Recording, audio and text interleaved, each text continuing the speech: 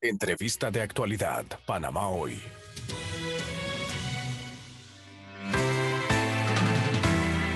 Bueno, a esta hora de la mañana, un tema que a todos nos interesa, nos preocupa y es sobre el futuro del país a nivel económico. Y ayer yo veía, por ejemplo, imágenes del presidente de los Estados Unidos, Joe Biden, anunciando que va a poner en ejecución un billonario proyecto que va a mover infraestructura y que busca que a través de, esa, de ese proyecto de mover infraestructura a nivel de todos los Estados Unidos se genere, se genere empleo, se, genere, se mueva la economía. Y me preguntaba yo, ¿cuál es el proyecto nuestro acá? ¿Qué, ¿Qué es lo que vamos a hacer para que el país salga del atolladero económico en el que nos encontramos en este momento, sobre todo cuando vemos tantos locales comerciales cerrados, tanta gente sin empleo, eh, todavía mucha gente que no se ha acercado a los bancos.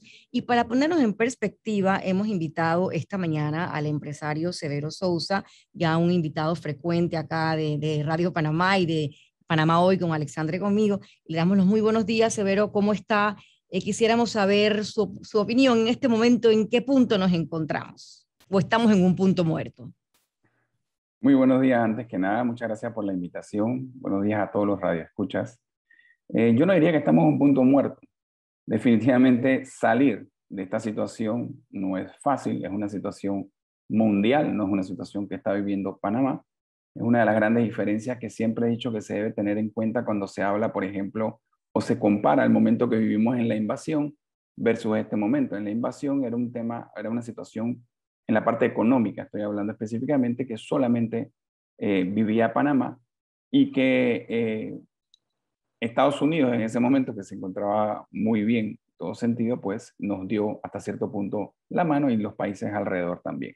Hoy en día somos todos los países del mundo, ni siquiera del área del mundo, los que estamos abocados en ver cómo reactivamos nuestra economía eh, y es muy difícil entonces pensar en ayudas exteriores, así que tenemos que hacerlo por nuestra propia cuenta. Y de todos es conocido la situación que hemos vivido eh, a la que todos hemos sido afectados, ni hablar del tema de salud, del tema de, parientes fallecidos, enfermos, amigos, etcétera, que eso pues eh, eh, es otro tema y, muy difícil de presentar y, de aceptar, pero bueno, tema económico que nos compete, vuelvo y repito, no creo que estemos en un punto muerto, simple y sencillamente no se sale tan fácil de esto. Y nosotros en el Consejo Nacional de la Empresa Privada hemos tenido desde hace mucho tiempo un involucramiento con el gobierno donde primeramente tenemos que recordar, estábamos viendo cómo se reabrían las empresas porque todas estaban cerradas. Hoy en día, eh, si bien no está el 100% de las empresas abiertas nuevamente, pues muchas cerraron definitivamente, pero me refiero a que no se les permite todavía al 100% de las empresas, hay algunas que tienen limitaciones o que no han terminado de abrir, pero lo que sí es claro es que eh, hemos entrado ya en una fase en que junto al gobierno eh, logramos establecer mesas de trabajo, se lograron establecer siete mesas de trabajo para esta reactivación, en las cuales se llegó a tener 51 propuestas, de las cuales se aprobaron 43. Yo debo decir que el presidente Cortizo ha estado directamente involucrado.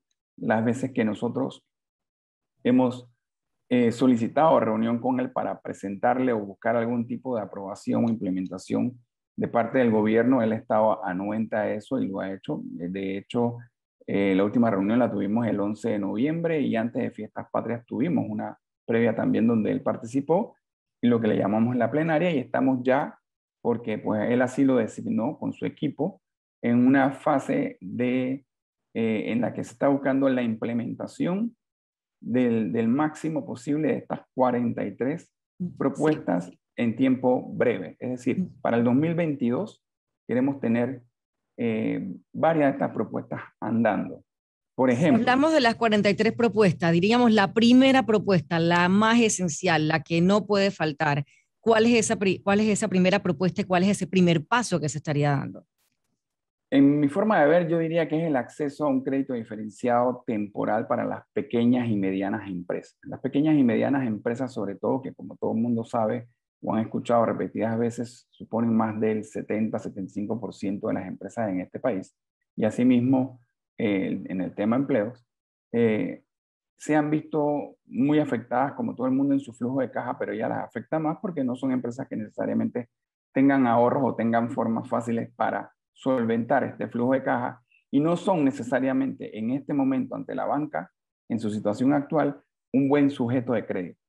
Por lo que estamos buscando la forma de que se habiliten fondos de garantía. En una primera fase pudiéramos estar hablando de unos 300 millones de dólares que sean destinados a través de la banca sola y exclusivamente para pequeña y mediana empresa, con algún énfasis en la pequeña y mediana empresa turística.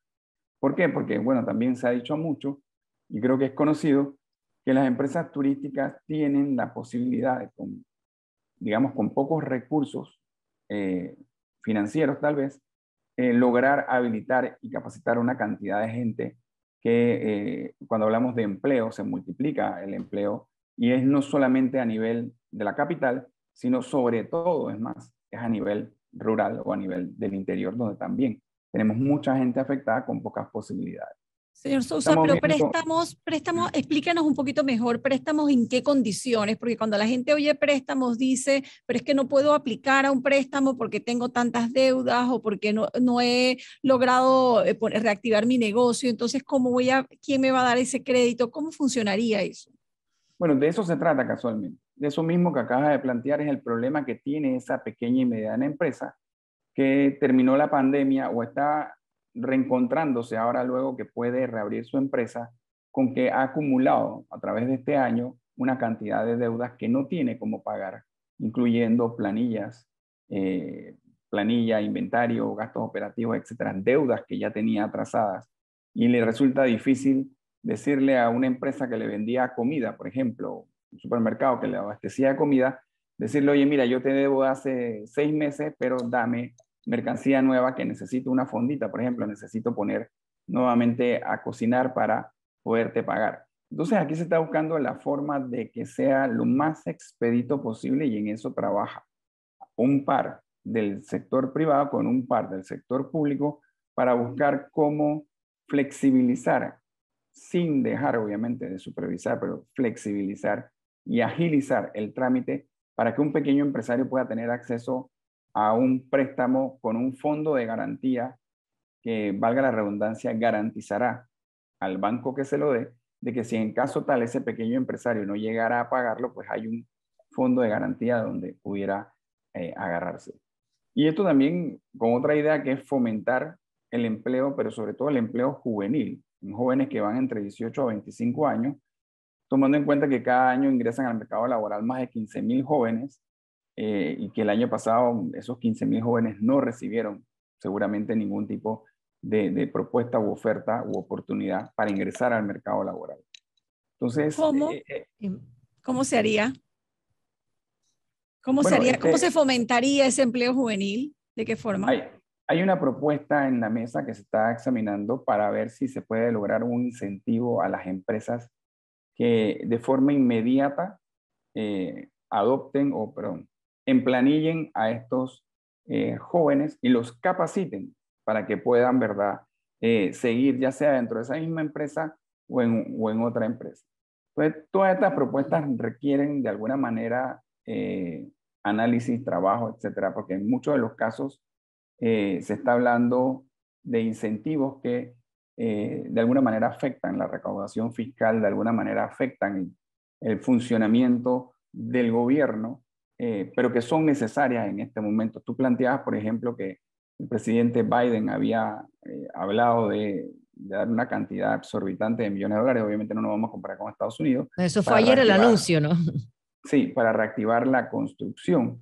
Eh, nosotros estamos hablando también, en ese caso, por ejemplo, de uno de los mayores impedimentos que tiene la construcción, que todos saben que está sumamente golpeada, es no, no solamente el acceso a financiamiento, la mayoría de la gente que trabaja en construcción tiene de pronto un, mejor acceso a financiamiento que estas pequeñas empresas que yo estoy eh, hablando, pero sí tienen temas muy eh, complicados como son la cantidad de tasas municipales eh, y tasas nacionales que también tienen que pagar y que en unos casos son discrecionales y que le distorsionan, por ejemplo, eh, toda una planificación eh, a la hora de decir, bueno, voy a construir un edificio, voy a construir casas, voy a construir una carretera o lo que sea, porque en cada sitio los tratan diferente y eso es algo, por ejemplo, eh, bueno, que algunos incluso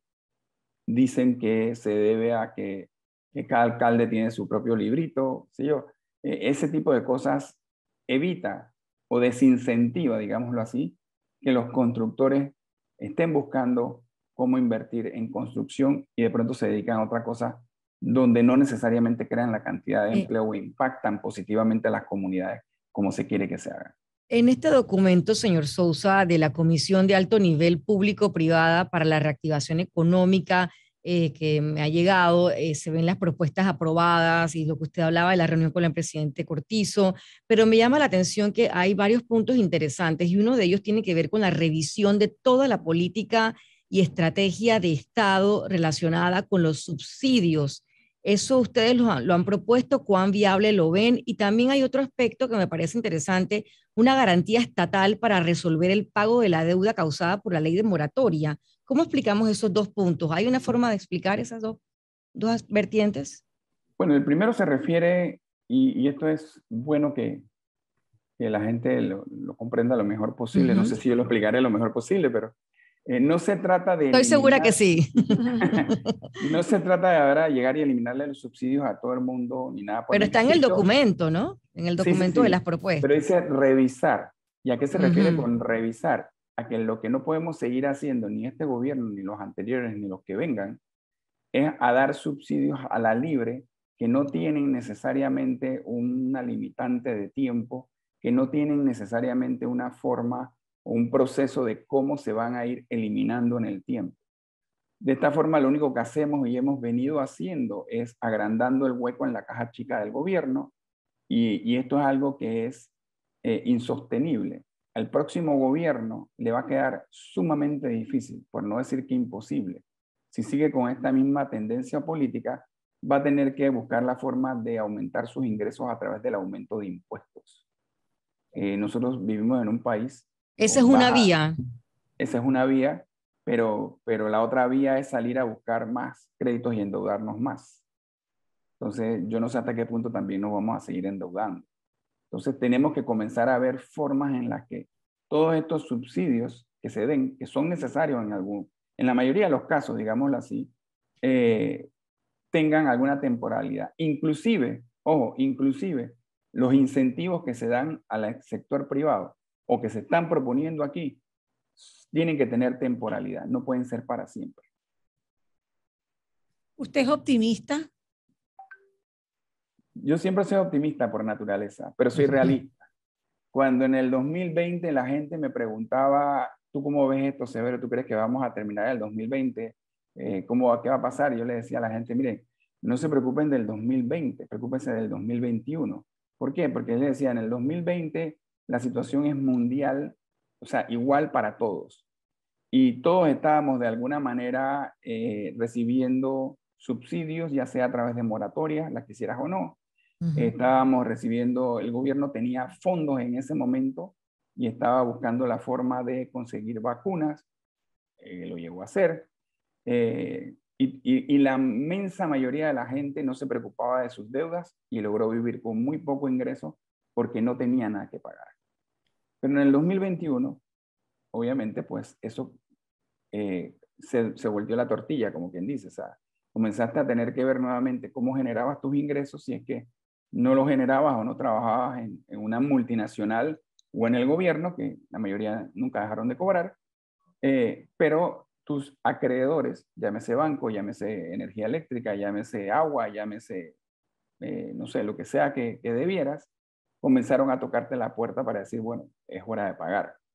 Entonces, si no tenías los ingresos y ya no tenías a papá gobierno que te diera la plata, comienzan todos estos problemas que hemos tenido, donde se habla del desempleo con diferentes cifras y es posible que haya bajado al 15%, que hoy en día dicen que está. Pero yo creo que la realidad es que al final del año vamos a volver a ese 20 o 21% eh, que se hablaba antes de esto, porque eh, la mayoría de la gente está en la informalidad, buscando lamentablemente qué hacer en el día a día para traer el pan a su casa. Y no estamos hablando de, gente que tiene acceso a buscar grandes ingresos necesariamente, sino que salen el día a día a buscar el dolita, como decían en mi tiempo el dolita para poner en la mesa. Todavía lo decimos.